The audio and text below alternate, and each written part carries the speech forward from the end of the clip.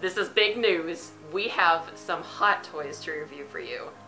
Yay! If you don't know what Hot Toys are, it Hot Toys is a company that's based in Hong Kong, and they design photo accurate figures of like superheroes and people from movies, so like actual real yeah, people. um, recently it's been a lot of like Marvel and DC characters Yeah. together, but they've also done a lot of Star Wars stuff because Yeah, of all sorts Force of- Awakens coming out. Yeah, and all sorts of movies and like pop culture stuff. So definitely. in particular, we have Wanda Maximoff. And Pietro Maximoff from Avengers: Age of Ultron. These are the boxes. You can see that they kind of have like similar designs going on, but we got the red and pinks for Wanda. Yep, and he's got the green and blues going across for Quicksilver. So this is the front. We got a picture of the actress and the actor who Mhm. play them. On the sides, we just kind of got their names written, The names here, and there's also like their symbol Yeah, they're on like- the other side. and then kind of just like all the people who sculpted it and worked on it. Yep, and the back end, it's got a little bit of a texture across the A. There's like a some lines across it, and it's a really nice, sturdy box. It's not too complicated to open. By yeah, it has just like a slip cover, Yeah. and then you'll be able to see the figure underneath. But we already got them out of the Yeah, we took them out of the box already because we have actually owned these for several months now. They came out, uh, I think Pietro was finally shipped in March. Yeah, I was And I gonna think she came in February. Yeah, Originally, of course, you know, the, the thing with Hot Toys, when you order them, if you pre-order them, it'll give you a period of time that they should be shipped in, usually like a two-month period, two Mhm. to three-month period. And Pietro, when I bought him, he was released um, for pre-order before Wanda was, hmm and uh, it said between January and March, and he almost didn't get here till the very end, of almost April. Yeah, Like, but anyway, as I was saying, we ordered these off SideshowCollectibles.com, which is one of the only licensed American websites that Mhm. actually sells hot toys, and I'm pretty sure it ship- ships worldwide, if I recall. I got um, Wanda for pre-order at around um, $220, which is about average for a hot toy with her amount of accessories. Pietro on pre-order was I think 210 because he only has a few changes of hands instead of like all the extra stuff. And obviously the price will be driven up depending on how much you're getting with them. Like And how big? These, um, on average, are they're like one six scale Yeah. figures, so they're pretty big. So you get a lot of bang for your buck. as an example, um, I've also pre-ordered the Captain America um, Civil War figure Yeah. coming out, and he was almost 250, but he also comes with like a different face. He comes with Yeah. a shield. He comes with a bunch of different hands and all sorts of other accessories. So really, you're just paying for the extra stuff you can get. And thankfully, I don't know about other. uh, There's a few other websites that you can get hot Mhm. toys through. I don't know about all of them, but Sideshow Collectibles allows you to do a payment plan, like we mentioned, and you can pick to do it in like two payments, three or four payments. I usually go four because that's just how I can afford things. and you know, it's really nice. I think they have an Amazon payment plan through it too, which it, it just helps a lot. And These are expensive, and they understand that. they are extremely expensive, and all I can say is don't rag on anyone that wants to get these because you know what? It's your money. If you have enough, it's not going to hurt you. yeah. Payment plans is what how I can do it.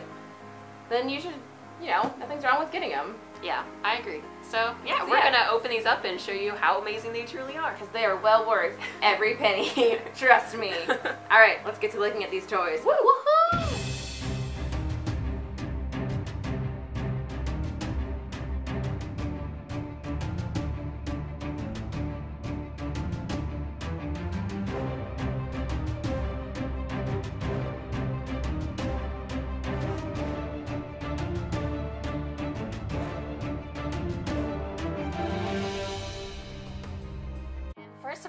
have Wanda Maximoff, and as you can see, immediately, it's amazing how realistic she looks. Like her likeness to Elizabeth Olsen, who plays the character in the film, is pretty impressive. Um, just looking up something amazing about Hot Toys is they always have this glossy sheen to their eyes, which makes them seem watery and like they're real. It kind of just looks like someone got zapped in a mini machine and got shrunk down to this size. It has everything from her like necklaces, which are like you can move, they're malleable, they're very real, to the underlace of her dress, to even just the cut of it, tiny little details. She has her red jacket, which has been hand stitched in the zipper detail. And then she has her little arm bands here. And these are just the couple of hands I have with her currently. She also has six extra hands. She has her resting hands. She has her hand that holds a heart, which is the heart of Ultron. If you've seen the movie, she rips it out like a badass and then she just has some like zappy power hands like the one she has here. Her fingers, incredibly enough, are kind of translucent at the end to give you the appearance that they are powered up. She also on each individual hand has the little bit of details on her rings and her like bracelets, all completely accurate to the film. Um, her dress is just it's above the knee, it's pretty short, and then she's got her socks that are rough material and her shoes. Just pretty awesome. In the back, we see her hair, which some people complain about um, some of the female characters' hair in Hot Toys because they always use kind of like the more realistic, not sculpted hair. Some people complain that it's kind of too much like a Barbie doll, but I think it actually looks really nice. Like it kind of gives it that realistic appeal. I think it it works really well here. I've seen it kind of look a little weird on some of the Black Widow ones, but this one it works really nicely. There's also just the dirt and kind of grime, the fadedness at the bottom of the jacket makes it look like she's been wearing it for a while and been battling some evil robots and all that jazz. And her base is kind of simple. Each base for the Age of Ultron characters had a different kind of little motif. With the A, hers has kind of got like her power, like zappy red A kind of detail. And then like on here we have a metal metallic kind of engraved thing that says Scarlet Witch to explain who she is. And the um, stand itself, it wraps around her waist, and it doesn't really impede her movement too much. She can do all the cool poses. Wanda's a character that mostly uses her hands to fight, so we got all sorts of articulation to move her arms. They go out, bend here, bend here, even at her wrists, bend here. Her head doesn't go up too much, but it can go down pretty far, and then right and left. And her legs, again, they can bend pretty well. She's a little stiff because she's new, but as long as you're gentle, it shouldn't do too much. You just gotta be kind of careful with her arms especially because you don't want to wear down the jacket too much or rip it. But as long as you're kind of gentle with it, you can get her into some pretty interesting poses. Yeah, I mean, I think she's a gorgeous doll. She's got amazing detail, and so does uh, the Quicksilver doll. And it's just, they're really nice to look at. You kind of covered everything there is to cover with it. yeah, I think she's incredible. Like, she has lots of points of articulation. You can really get her in all sorts of cool poses, and later we'll show you some pictures of them in some battle action yeah. modes. Because one of the also bonus things about Wanda I forgot to mention is that she comes with these pieces that are kind of like her power, um, her powers. They basically just rest on some of her hands, and it looks like she's got the energy force like coming out of her hands, and she's gonna like beat some ass. So it's pretty cool. All right, and now we have the Pietro or Quicksilver hot toy. Um, as you can see, he's actually you know looks has a really really good likeness to Aaron Taylor Johnson, who you know is just a pretty boy. um, there's really nice detailing in his hair. He has sculpted hair, whereas Scarlet Witch had like the real synthetic hair. And there's really, really nice detailing in all of it. If you can see, he doesn't fall off his stand. The back of his head has like a little bit of the fade.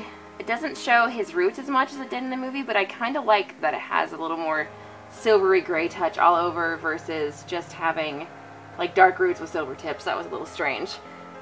Uh, but turning him back around here, uh, one thing I'm going to point out right now is that his stand is different than Scarlet Witch's, which I actually had to ask Aracey when I got him because she got Scarlet Witch first.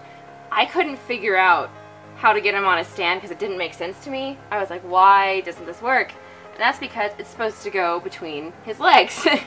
Whereas the girls typically have them around their waist.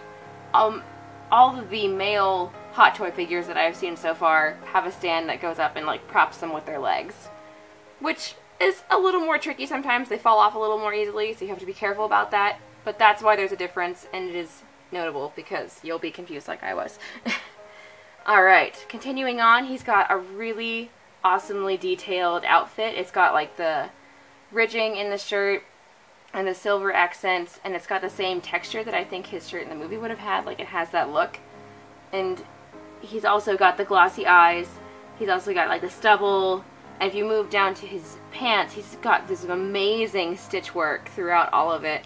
And all the different textures, like there's even little leather strips down the side where his uh, detailing goes.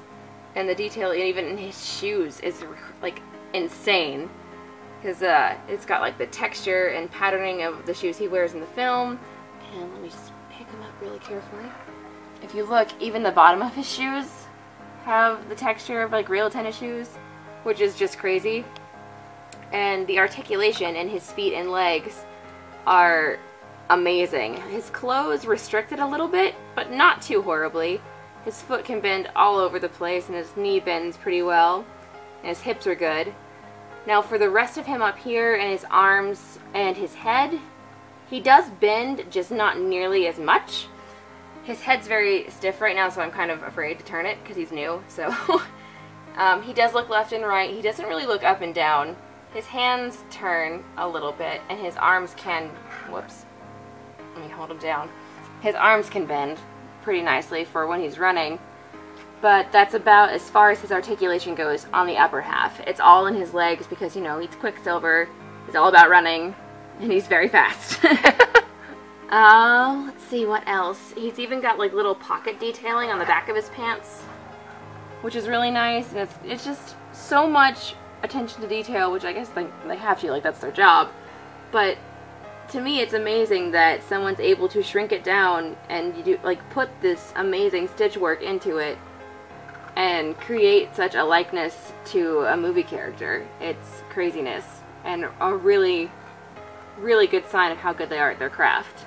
Yeah, seeing this in person, you kind of understand why it takes so long for it to ship and to be created because they really go the extra mile to make sure that everything's like hand painted on the face and like hand stitched the outfits. Like it is a work of art. Like it's nothing less. That's why it Yeah. costs as much. These are not like factory mass produced things. Like these really take a lot of time and effort. These are not like, you know, figures that you can collect that you'd get from just a regular store or maybe even a convention. They aren't mass produced. They're usually only made in small lots and depending on how many people pre-order them. Mhm.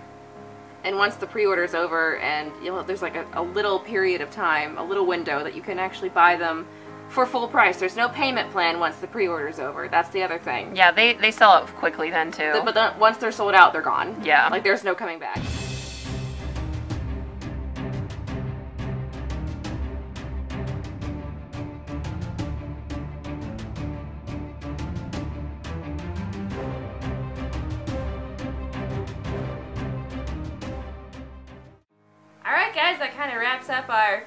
Reviews of the Scarlet Witch and Quicksilver Hot Toys. We hope you enjoyed them in all of their glory. They're absolutely gorgeous, and we can't recommend them or any other Hot Toy products alike. Like, they're really, truly beautiful. There's kind of a large selection, especially if you're looking for Mm-hmm. superhero stuff. They have almost every modern Marvel movie to They've done like even different outfits for different versions of different movies, which I wish the clothes were changeable, but you cannot take them out of their clothes. So yeah, I mean, if you do, you're not getting the clothes back on. Yeah, it's You'd be ripping happening. something, so Yeah. won't suggest that.